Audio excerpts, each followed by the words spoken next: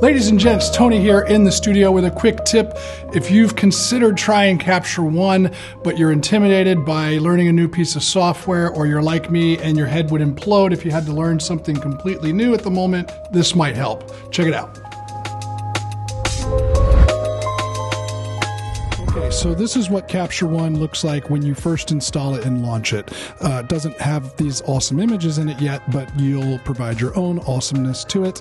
Um, as you can see, the layout is totally different from Lightroom, but I'll go over it with you real quick. Um, I'm not going to deep dive into this right now. I basically want to get to the tip, but um, this uh, the, all your settings are on the left hand side. Your film strip is on the right. You can alternatively have your film strip along the bottom.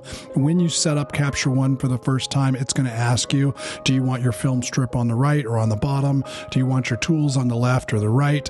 And depending on how you make those selections when you first set it up, it can look very similar to Lightroom, but not as similar as what I'm about to show you. So, uh, you know, on the left hand side are all of these different tools, and you have these tool tabs which are predetermined by Capture One, but you can change them. The versatility in here is uh, overwhelming. You can have any of these tools can be moved to any of these other tabs. You can pop them out so that they're their own floating tool. You can create your own tabs up here. It, it, it's completely customizable. So uh, don't get hung up on that for now.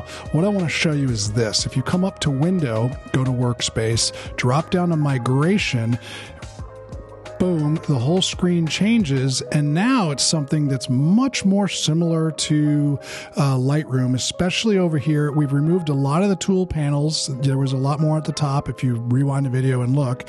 But this one in particular should look very familiar to you guys coming from Lightroom.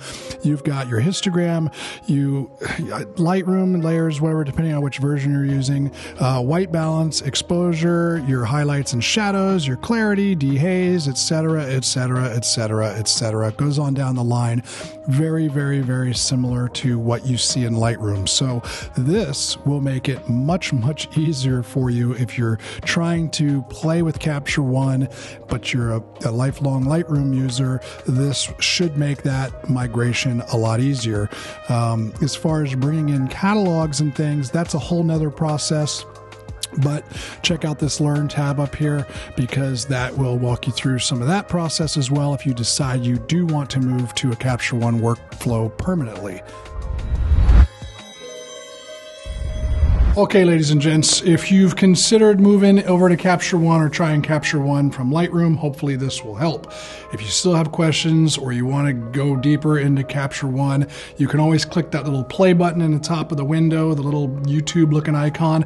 That'll give you all their tutorials, which are very thorough, very helpful. Uh, Capture One's super powerful. I think once you dive into it, you'll find out that it is a superior raw editor, a lot more functionality than Lightroom has. We'll talk about some more of that functionality in future videos, but for now, that's just the tip. So if you haven't subscribed to the channel, do that now, like right now, and then um, you know follow me on Instagram at Tony Roslund, and uh, would love to communicate with you there, and Clubhousey, and all the other social crap that's out there these days. So trying to keep up with it all is killing me. But uh, if you have tips for Lightroom users who are moving into Capture One, stuff that's helped you get acquainted with the application, throw a comment down below and um, maybe it'll help somebody out. That's it. I'm out. Till next time. Peace.